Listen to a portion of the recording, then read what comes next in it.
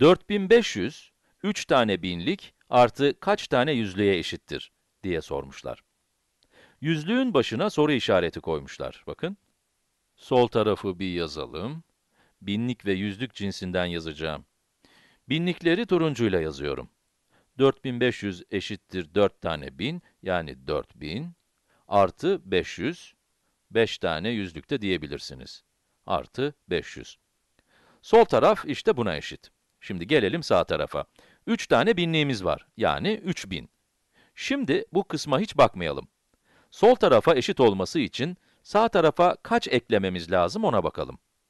3000 ile 4000'i karşılaştırdığımızda, burada fazladan bir binlik olduğunu görüyoruz. O halde sağ tarafa bir 1000 ekleyelim.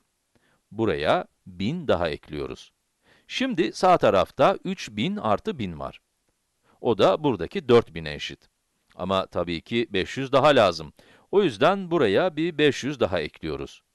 İki tarafın birbirine eşit olması için 4000 artı 500'ün 3000 artı 1500'e eşit olması gerek. 3000 artı 1500. İki taraf birbirinin aynısı gibi görünüyor. Sol tarafta 4500 var. Yani bu kısım böyle 4500'e eşit. Yani buradaki sayıya. Sağ taraftaysa 3000, yani buradaki sayı var ve bir de 1500 var. Bu 1500'ü yüzlük cinsinden ifade etmemiz istenmiş. 1500 demek, 15 tane yüzlük demek. Şimdi her şeyi baştan yazalım.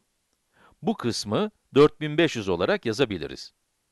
Şu an ifadeyi, soruyu yazdıkları şekle sokmaya çalışıyorum. Şöyle yazabiliriz.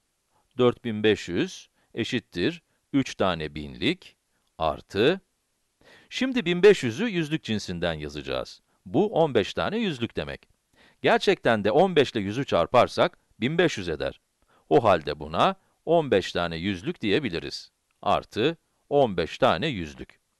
Yani bu örnekte soru işaretinin yerine 15 gelmeliymiş.